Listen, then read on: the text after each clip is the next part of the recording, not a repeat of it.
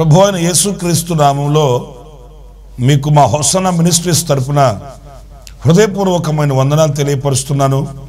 ప్రభు మిమ్మల్ని ఆశీర్వదించి దీవించునుగాక పురిరాల పరిశుద్ధ గ్రంథంలో నుండి ఈ పూట ఎనిమిదవ కీర్తన నాలుగవ చరణాన్ని చదువుతున్నాను. జాగ్రత్తగా ఆలకించండి. నీవు మనుషుని జ్ఞాపకము చేసుకొనుటకు వాడేపాటి వాడు నీవు నరపుత్రుని దర్శించుటకు వాడేపాటి వాడు పురులారా చూడండి దేవుని చేతి పని నరుడు. ఆయన రూపకల్పన చేస్తే రూపింపబడిన వాడు నరుడు. అయితే నీవు ఆ నరుని దర్శించుటకు వాడు ఏపాటి వాడు అనే గ్రహింపు కలిగిన ఈ భక్తుని మాట మనకెంతో ఆశీర్వాదం అండి ఎందుకంటే ఈ రోజున దేవుడు మనల్ని ఎంత ప్రేమిస్తున్నాడు? ఆయన ఎంత కనికరిస్తున్నాడు? ఎంత మన మీద కటాక్షం చూపిస్తున్నాడు అనేది మనం తలుచుకోలేకపోతున్నాం. మనం గ్రహించలేకపోతున్నాం. అయితే ఇక్కడ ఈ దైవజనుని హృదయం విశాలమైనది గనుక దేవునితో అత్యున్నతమైన సహవాస సంబంధం కలిగినది గనుక ఆ దైవ కార్యములను యోచించగలిగిన సున్నితమైన మనస్తత్వం కనుక ఇక్కడ దేవుడు నన్ను దర్శించుటకు నేను ఏ పార్టీ వాడను అనే ఒక మంచి గ్రహింపు కలిగిన వ్యక్తిగా ఈ దైవజనుడు మనకు కనిపిస్తాడు. ఆ యొక్క అనుభూతి మనకు ఉన్నదా లేదా అని ఒక పరిశీలన కూడా మనకు కలగాలి. ఇందులో నేను మీతో చెప్పాలనుకున్న మాట ఏంటంటే ఆయన మనల్ని ఎందుకు దర్శిస్తాడు? ఏదో ఆయన మన దగ్గర ప్రతిఫలాపేక్ష కోరి మనమేదో ఆయనకు ముట్ట చెబుతామని మనమేదో ఆయనకు అనుగ్రహిస్తామని మనమేదో ఆయనకి ఘనతలు ఇస్తామని కాదు కానీ ఆయన మనల్ని దర్శించడంలో కలిగే అనుభూతి ఎలాంటిది అనేది ఒకటి రెండు మూడు మాటలు పరిశుద్ధ గ్రంథంలో మనం చూడాలి. మనం మొద మొదటిగా పదిహేడవ కీర్తన మూడవ చరణంలో మనం చదివితే రాత్రి వేళ నీవు నన్ను దర్శించి నా హృదయమును పరిశీలించితివి. చూడండి ఇక్కడ దేవుడు మనల్ని ఎందుకు దర్శిస్తున్నాడు అనంటే మన హృదయమును పరిశీలించుటకు. ఏదో ఆయన మనల్ని దర్శించి నరుడా ఏమి నీ కోరిక? అనడానికి కాదండి. లేక భక్తులారా మీ ఆశలేంటో చెప్పండి. ఇదిగో ఈ పథకాల కింద మిమ్మల్ని నేను దీవిస్తాను ఆశీర్వదిస్తాను అని చెప్పడానికి మాత్రమే కాదు కానీ ఇందులో మనం గమనించవలసింది మన హృదయమును పరిశీలించుటకు ఆయన దర్శిస్తాడట. మీరు ఆది మొదటి అధ్యాయాలలోనే మనం గమనించినప్పుడు నరునికి నిర్మాణాన్ని కలుగు చేసి ఏదేనులో తూర్పు భాగాన ఒక తోట వేసి ఆ తోటలో ఆ నరుని ఉంచి ఆయన ప్రతి చల్లటి పూట నరుని దర్శించేవాడు. ఎందుకు? దేవునికి కాలయాపన లేక ఆయనకు కాలం గడవక ఏదో కాస్త పిచ్చాపాటిగా మాట్లాడదాం. అనే వచ్చింది దేవుడు నరుని దగ్గరికి. కాదు దేవుడు ఒక ఆజ్ఞ పెట్టాడు నరుడికి దేవుడు ఒక పరిధిని ఉంచాడు నరునికి. దేవుడు ఒక కట్టడను పెట్టాడు నరునికి. ఆ కట్టడ విషయంలో ఇతడు ఎంత యథార్థవంతుడు అన్నట్లుగా ప్రతి చల్లటి పూట నరుని దర్శించేవాడు అనే విషయాన్ని మనం మర్చిపోకూడదు. పిల్లల ఈ రోజున దేవుడు మనం ఉంచిన ఆ స్థానమందు మన హృదయం ఎలా ఉంది? దేవుడు మనం ఉంచిన విశ్వాసమందు ప్రేమయందు నిరీక్షణ ఎందు ఆధ్యాత్మికమైన ఆ యొక్క విలువలలో మనం ఏ స్థితిలో ఉన్నాం ఏ పరిస్థితుల్లో ఉన్నాం ఆయన పరిశీలనగా తెలుసుకునేవాడండి. అంటే దర్శించేవాడంటే పరలోకాన్ని విడిచిపెట్టి దిగువచ్చి ఆయన మన ప్రక్కన నిలిచి ఆయన మనల్ని పరిశీలిస్తాడని కాదు కానీ మనల్ని ఆయన దర్శించడం అంటే ఏంటంటే మనల్ని ఆయన పట్టించుకుంటాడు. ఆయన మనల్ని విమర్శిస్తాడు. ఆయన మనల్ని ప్రశ్న వేస్తాడు. మన హృదయాన్ని తెలుసుకుంటాడు. ఈ రోజున ఒక్క మాట నేను మిమ్మల్ని అడుగుతున్నాను. దేవుడు మనల్ని లెక్క అడిగినప్పుడు దేవుడు మనల్ని ప్రశ్నించినప్పుడు పరీక్షించినప్పుడు మన హృదయము ఎలా ఉంది? మన హృదయ అనుభవాలు ఎలా ఉన్నాయి అనేది మనల్ని మనం విమర్శించుకోవాలి. దేవునికి దానికి సమాధానం చెప్పాలి. ఆయన ఎందుకు దర్శిస్తాడు అనంటే మన హృదయమును తెలుసుకొనుటకు. అంటే మన హృదయంలో ఉన్న అనుభూతిని మనకు తెలియపరచడానికి ఆయన ప్రత్యక్షమవుతాడు. మరి ఆయన ప్రత్యక్షమైనప్పుడు మన హృదయం ఎలా ఉన్నది అనేది మనం తెలుసుకోవాలి. మనం ఆయనకు సమాధానం చెప్పవలసిన అవసరం ఉంది. చాలా మంది ఏం చెప్తారంటే మేము ఒకప్పట్లో మంచి భక్తి కలిగిన వాళ్ళమండి అని చెప్తారు. ఒకప్పట్లో మేము ప్రార్థన మందిరాలు కట్టించామండి అని చెప్తారు. ఒకప్పట్లో మేము దేవుని కార్యక్రమాలకి వెనకంజి వేయకుండా తిరిగే వాళ్ళమండి అని చెప్తారు. ఒకప్పుడు ఒకప్పుడు. మరి ఇప్పుడు సంగతి ఏంటి? ఇప్పుడు నీ హృదయం దేవుని ఎదుట ఎలా ఉంది? ఇప్పుడు నీ హృదయం దేవుని ఎదుట న్యాయమైనదేనా? యథార్థమైనదేనా? నీతి కలిగినదేనా? సత్యమైనదేనా? అనే ప్రశ్నలకు ఈ రోజున సమాధానం చెప్పవలసిన అవసరం మన మీద ఉందండి.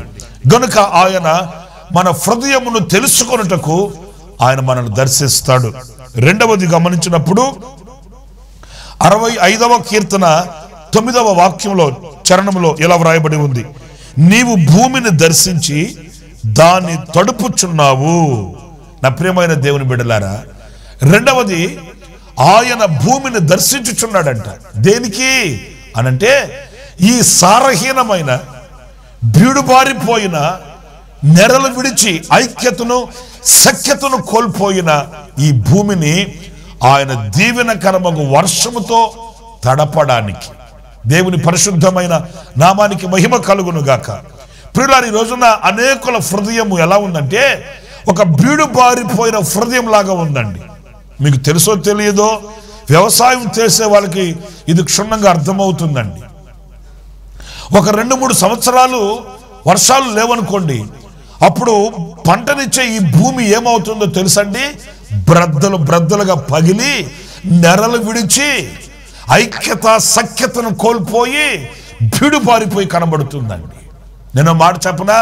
ఈ రోజున మరి అనేకుల హృదయాలలో ఈ దైవ సంబంధమైన ఐక్యతను ఆశీర్వాదాన్ని ఇచ్చే ఈ వర్షము లేక భూమి నెరలు విడిచినట్లుగానే సఖ్యత ఐక్యత కోల్పోయిన వాళ్ళుగా కనబడుతున్నారండి.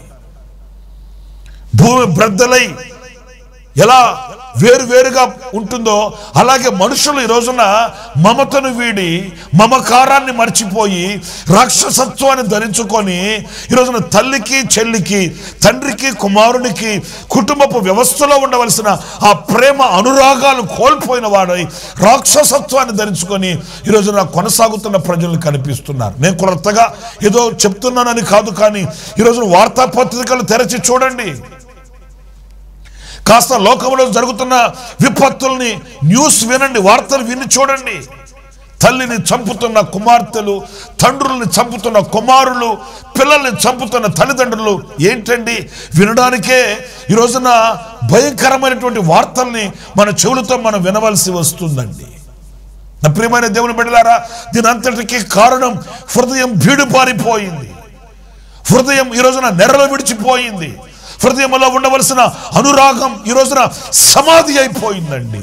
లేకపోతే నవమాసాలు మోసి కన్న తల్లిని ఈ రోజున కత్తివాత పెట్టడం అనేది లేక భుజాల మీద ఎత్తుకొని మోసిన తండ్రిని హతమార్చడం అనేది రాక్షసత్వం కాదంటారా? ఈ రోజున పాపం పరిపక్వమై బీడుబారిన హృదయాలు ఈ రోజున ఏలుబడి చేస్తున్నందు చేత ఈ హృదయాలు కాఠిన్యముగా మార్చబడి కఠినమైన అనుభవాలలో కసాయి మనుషులుగా మారిపోతున్నారు కసాయి లోకంలో. నా ప్రియమైన దేవుని బిడలారా ఆయన దర్శిస్తే ఏం జరుగుతుంది?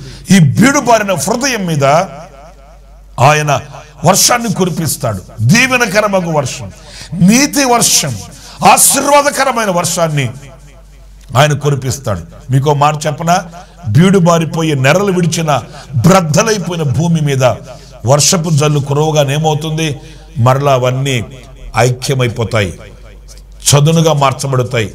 సారవంతంగా మార్చబడతాయి. అదే నా ప్రభు చేసే కార్యం కూడా. ఆయన దీవెనకరమగు వర్షాన్ని ఇవ్వడానికి దర్శిస్తాడు. ఒకవేళ ఎంతవరకు నీ హృదయం బీడుబారిపోయి ఉందేమో ఆయన దర్శించినప్పుడు నీ హృదయంలో అదిగో నీతి మొలకెత్తుతుంది. రక్షణ ఫలిస్తుంది. ఆయన ఆ సారవంతమైన బ్రతుకు నీలో ప్రారంభమవుతుంది.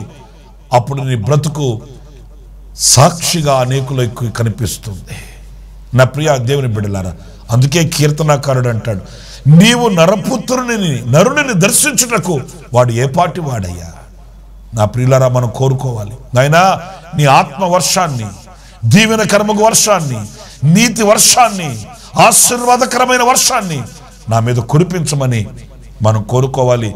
నీవు నన్ను దర్శించు ప్రభు అని ప్రార్థన చేయాలి. మరొక మాట కూడా నేను మీకు జ్ఞాపకం చేస్తాను. ఋతు గ్రంథంలో ఈ మాట మనకు కనిపిస్తుంది. మొదటి అధ్యాయం ఆరవ వాక్యంలో వారికి ఆహారం ఇచ్చుటకు యహోవ తన జనులను దర్శించనని ఆమె మోయాబు దేశములో వినెను ఎందుకు దర్శించాడంట ఆయన? ప్రజలు ఆహారము లేక కరువులో కాటికి కాళ్ళు చాపుతున్నారు. ఆకలి చావులు చస్తున్నారండి వాళ్ళు. ఆ సందర్భంలో ప్రభు వాళ్ళని దర్శించాడు. ఎందుకంటే వారికి ఆహారం ఇచ్చుటకు వారిని పోషించుటకు వారి ఆకలి తీర్చి వాళ్ళకి జీవాన్ని ప్రసాదించడానికి. మన ప్రభు అయిన యేసుక్రీస్తు ఎవరో తెలుసా? ఆకాశ పక్షులను పోషించుచున్నవాడండి. అవి విత్తవు కోయవు కొట్లలో కూర్చుకొనవు. అయినప్పటికీ కూడా ఎలాంటి కొదువ లేకుండా ప్రభు వాళ్ళని పో వాటిని పోషిస్తున్నాడు. వాటిని ఆయన నడిపిస్తున్నాడండి. ఆ సర్వశక్తి కలిగిన దేవుడే ఆనాడు బెత్లహేములో ఉన్న కరువును చూచాడు. ఆయన తన ప్రజలను దర్శించాడు. వారి యొక్క కన్నీళ్ళను తొలగించాడు. వాళ్ళ యొక్క ప్రయాసను తొలగించాడు. వాళ్ళకి సమృద్ధి అయిన ఆహారాన్ని పంచిపెట్టాడు. అవును ఈ రోజున నీవు ఎలాగా చాలి చాలని పరిస్థితుల్లో ఆకలి చావులు చస్తున్నావో ఆయనకి తెలుసు. పిల్లల్ని పోషించుకోలేక పౌష్టిక పదార్థములను బిడలకు అందించలేక పుష్టికరమైన ఆహారాన్ని బిడలకు అనుగ్రహించలేక ఒకవేళ రెక్కల మొక్కలు చేస్తున్నప్పటికీ చాలి చాలని బ్రతుకు నువ్వు బ్రతుకుతూ ఉంటే నా దేవుడు చూస్తూ ఉండేవాడు కాదు. ఆయన ముఖం చాటు వేసుకునేవాడు కాదు. నీ మీద కటాక్షించి నీ మీద కనికరపడి ఆయన దిగువచ్చి నిన్ను దర్శిస్తాడు. సమృద్ధి అయిన ఆహారం నీ ఇంట ఉండేటట్లు సమృద్ధి అయిన ఆహారం నీ బిడ్డలు అనుభవించేటట్లు నా దేవుడు నీ చేతి పనులు దీవించునుగాక. నీ వ్యాపారాన్ని దీవించునుగాక. నీ ఉద్యోగాన్ని దీవించునుగాక. నీ కుటుంబాన్ని నా దేవుడు సమృద్ధి చేత నింపునుగాక. నీ శాపం దరిద్రత కన్నీళ్ళు తొలగించునుగాక. ఆయన కటాక్షం నీకు సమృద్ధిగా కలుగునుగాక. ఆయన నిన్ను దర్శించి ఆహారం ఇస్తాడు. మరొక మాట కూడా నేను మీకు జ్ఞాపకం చేస్తాను. సమూయలు రాసిన మొదటి గ్రంథం రెండవ అధ్యాయం ఇరవై ఒకటో వాక్యంలో మనం చదివినప్పుడు యహోవా హన్నాను దర్శింపగా ఆమె గర్భవతి అయి ముగ్గురు కుమారులను ఇద్దరు కుమార్తెలను కన్నెను. ప్రిలరా హన్న తల్లి జీవిత గాథ నేను కొత్తగా చెప్పాల్సిన అవసరం ఏం లేదు. ఆమె అడిగింది కొంచెమే ఒక్క కుమారుని అనుగ్రహింపమని ఆమె కోరుకుంది. నిందను తొలగించమని ఆమె కోరుకుంది. అంతే ఈ వాక్యంలో మనం గమనిస్తే ఆమె నిందను తొలగించడం మాత్రమే కాదు ఆమెను బహుగా విస్తరింపచేసి బహుగా ఆశీర్వదించడానికి ఆయన ఆమెను దర్శించాడు. ఆ ఒక్క కుమారుని మాత్రమే కాదు ఆమెకు ముగ్గురు కుమారులు ఇద్దరు కుమార్తెలు. దేవుడు ఆమెకు గర్భఫలముగా అనుగ్రహించి ఆమెను విస్తారముగా బహుగా ఆశీర్వదించినట్లు వాక్యం చెప్తుంది. అంటే ఆయన మనల్ని ఎందుకు దర్శిస్తాడంటే మనల్ని బహుగా ఆశీర్వదించడానికి. నాకు ఇది చాలయ్యా అని మనం అనుకుంటాం. ప్రభు నాకు కొంత కృపచూపమని మనం కోరుకుంటాం. మన ఆలోచనలు కొద్దిపాటివి. మన ఎడల దేవుడికున్న ఆలోచనలు గొప్పవి. మన ఎడల ఆయనకున్న తలంపులు విస్తారమైనవి. అవి మనము వర్ణించలేనివి వివరించలేనివి. దానికే ఆయన మనల్ని దర్శిస్తాడు. లేఖనాల్లో మనం మరొక మాట కూడా చదువుతామండి. మీరు బహుగా ఫలించుట వలన నా తండ్రి మహిమ పరచబడును అని యేసుక్రీస్తు చెప్పాడు. అంటే మనం బహుగా విస్తరించాలి బహుగా ఆశీర్వదించబడాలి. అనేకులకు చేయి చాపి వాళ్ళ ఆకలి తీర్చేవారముగా మనం ఉండాలి. మనం అడిగిన వాటికంటే ఊహించిన వాటికంటే అత్యధికమైన మేలులు మనకు చేయడానికి ఆయన మనల్ని దర్శిస్తాడనే వాక్యాన్ని మనం గమనిస్తూ ఉన్నాం. అందుకే కీర్తనకారుడు నీవు నన్ను దర్శించుటకు నేను ఏపాటి వాడనయ్యా? నరపుత్రుని నిన్ను తలంచుకోవడానికి దర్శించుటకు వాడు ఏపాటి వాడయ్యా? ఎందుకు దర్శిస్తాడు ఆయన అనంటే దేవుని వాక్యంలో కొన్ని విషయాలు మనం ధ్యానిస్తూ వచ్చామండి. మొదటిగా హృదయమును పరిశీలించుటకు ఆయన దర్శిస్తాడు. రెండు ఆయన వర్షముతో భూమిని తడుపుటకు ఆయన దర్శిస్తాడు. మూడు ఆహారమును అనుగ్రహించుటకు ఆయన దర్శిస్తాడు. మనల్ని బహుగా ఆశీర్వదించుటకు ఆయన మనల్ని దర్శిస్తాడు. ఆ దర్శించే దేవుని దీవెన మనందరికీ సమృద్ధిగా కలుగును గాక తలలు వంచండి చిన్న ప్రార్థన చేసుకుందాం. కృపా సత్య సంపూర్ణుడా జీవాధిపతి అయిన ప్రభువా మీకు వందనాలు నాయన. ప్రభు మట్టి అయిన మమ్మల్ని మీరు దర్శించి ఇంత ఘనతకు మీరు మమ్మల్ని అప్పగించి మీరు మమ్మల్ని ఆశీర్వదిస్తున్నారు. అందుకు మీకు వందనాలు చెల్లిస్తున్నాను. ఈ మాటలు వింటున్న నైనా ప్రతి ఒక్కొక్కరిని మీరు దర్శించండి. వారి బ్రతుకులలో మీరు చాలిన దేవుడుగా మీరు ప్రత్యక్షం కండి. వారి హృదయ ఆలోచన మీరు తెలుసుకొని నా తండ్రి మీరు మమ్మల్ని అనునిత్యము దర్శిస్తూ మీరు మమ్మల్ని నడిపిస్తూ మా ఆఖరి శ్వాస వరకు మీకు మేము సాక్షులుగా ఉండేటట్లు మీరు మాకు నిండైన మెండైన సమృద్ధి అయిన కృపను మీరు మాకు పంచమని మమ్మల్ని మీకు అప్పగించుకుంటూ ఏసునామములు ప్రార్థించి వేడుకొనుచున్నాను తండ్రి. ఆమెన్.